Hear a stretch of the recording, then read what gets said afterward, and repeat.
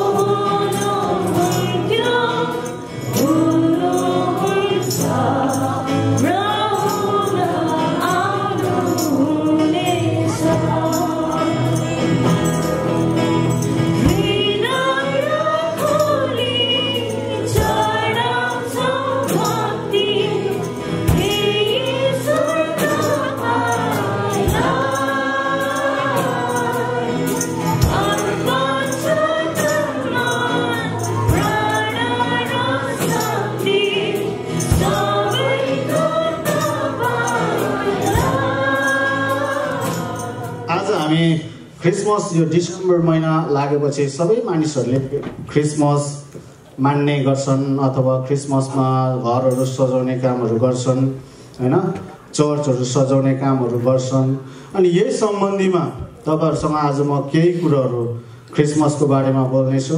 अहिले जति तपाईँलाई यो भिडियो देखाउनु कारण चाहिँ मानिसहरूले क्रिसमस त मनाउँछन् तर मोस मस्ती तरिकाले अनि विशेष गरी घरको अगाडि सेन्टोहरूलाई राखेर तर बाइबलसँग कुनै लेनदेनै छैन त्यो कुरोहरूको। अनि त्यो कुरोहरू चाहिँ एकदम फैलिएर गएको कारणले चाहिँ मैले तपाईँलाई देखाएको हामीले घरको सफाइ गर्छौँ क्रिसमस आउँछ आउँछ आउँदाखेरि है हामी घरको सफाइ गर्छौँ तर आफ्नो मनको सफा गरेनौँ भने त त्यो क्रिसमसमा आफ्नो घर सफा गरेको नगरे के वास वास्तव होइन? हामी चर्चहरू घरहरू झिलिमिली पार्छौँ। त्यो झिलिमिली पार्नुको अर्थ कि हामीले हाम्रो छिमेकीहरूलाई बोलाउँ निमन्त्रण दिउँ उहाँहरूलाई महिमान गरौँ ताकि त्यो उहाँहरूलाई बोलाउँ सत्कार गर्दाखेरि प्रभुको वचनहरू सुनाउनुहोस्। आज हाम्रो निम्ति चाहिँ दुई हजार बाइस साल अगाडि चाहिँ यसु प्रभु यो संसारमा आउनुभएको थियो। तपाईँ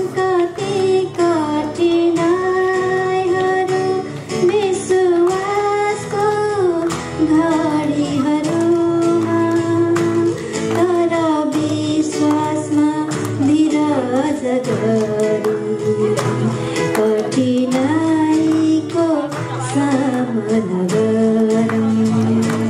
तर विश्वासमा धीरज गरी।